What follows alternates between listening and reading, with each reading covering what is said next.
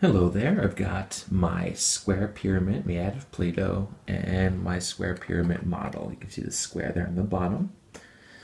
And we're going to take some floss, cut this square pyramid, and see what kind of cross sections appear. Let's first cut right from the apex, the top here, right down to the base. So perpendicular to the base. Gotta wiggle the floss down and pull and cut Okay, once I cut now, I don't need to pull the floss out. I can just pull the shape apart, try to think about what we're going to see. Right, and then there, we see that if we cut that square pyramid perpendicular to the base, we get this beautiful triangle, right, on the cross section right there. So isn't that neat? Now let's put it back together. Right, boom, it's back together.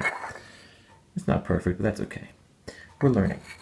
Now let's take our floss and cut parallel to the base. I'm going to go along with the table. Go right into it here. So turn it a little bit it's easier for me. And try to think, what are we going to get?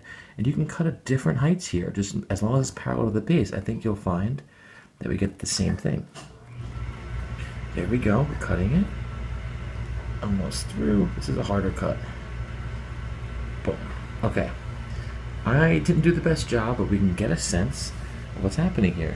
If you look at my cut, it's like a rectangle, right? And you can imagine if my model was perfect and my cut was perfect, because we have a square pyramid, if you cut parallel to that base, you're going to get a square cross section, right?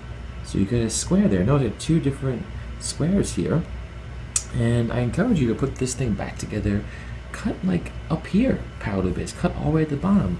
And I think you'll find that wherever you cut as long as it's parallel to the base you're going to have a square which makes sense for a lot of reasons but for me the main reason is if you look at the bottom of the square pyramid you see that square there. So when you're cutting the square pyramid you're just seeing different versions of that base.